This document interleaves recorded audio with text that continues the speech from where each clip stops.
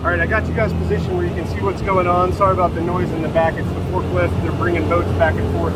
You'll need two towels. You'll need a bulk knocker towel, which is this one here.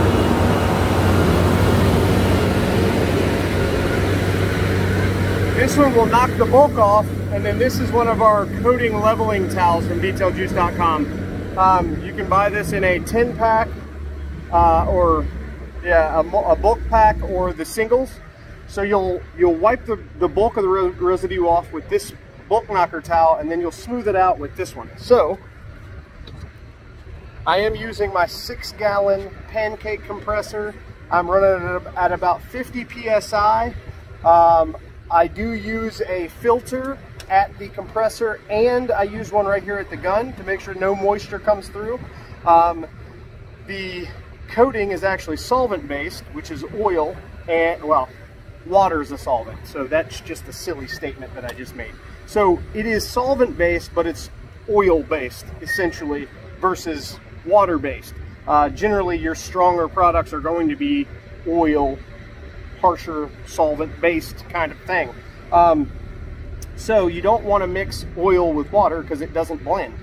So you want to keep as much moisture out of the deal as possible and having two filters I feel like does it just fine. I've also got my digital um, pressure gauge there.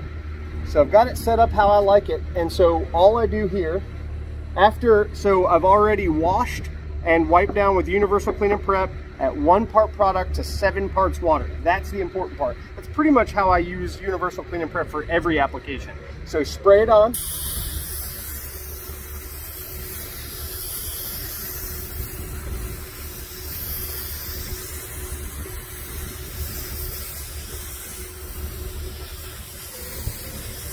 Okay? Spray it on in a, basically a two foot by two foot section at a time. Then you take your bulk knocker towel, and you wipe it in really evenly.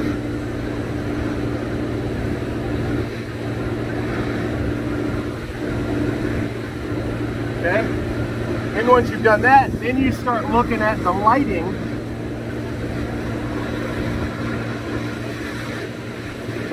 and seeing where your high spots are and then you'll smooth them out with this towel.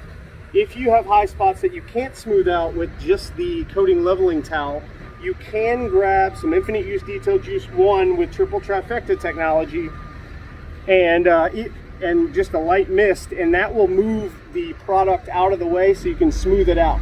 The cool part about using Infinite Use Detail Juice 1 with triple trifecta technology is that it's not going to remove any of the material. It's just going to break it up so you can smooth it out. So instead of taking that mass of material away, you're, you're going to leave it there, but smooth it out and make it even. So that's it. We'll do another section real quick so you can see that. Move the camera a little bit.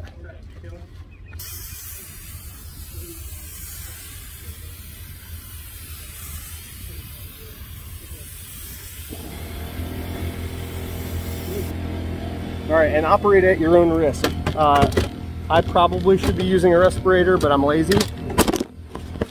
Oops. And also, I should probably use a respirator, and I recommend that you do too, but do what you gotta do to protect yourself, is all I'm gonna say.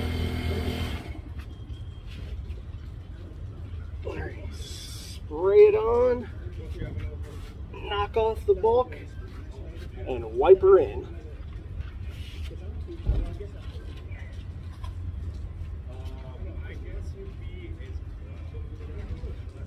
And that's it, guys. That's all you got to do. Just make sure there's no high spots. That looks awesome. Check this out. It looks awesome.